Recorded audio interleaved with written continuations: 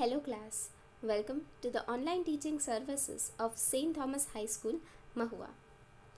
Today, I, Richa Parekh, am here to further continue with the subject of social science for the students of class 8th.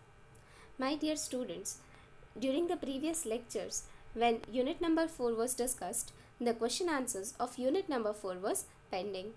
So today I am sharing the question answers PDF of unit number 4 that is how traders became rulers.